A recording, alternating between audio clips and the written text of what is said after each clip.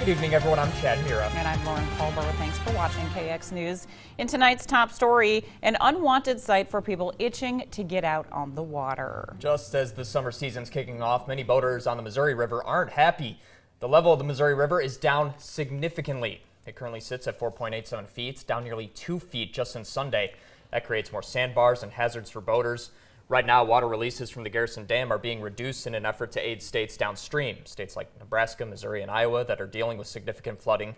That strategy is concerning, though, to U.S. Senator John Hoeven. He says restricting releases north could lead to flooding on Lake Sakakawea. However, the Army Corps says there is still room for water in Lake Sakakawea and that they will ramp up releases starting around June 10th.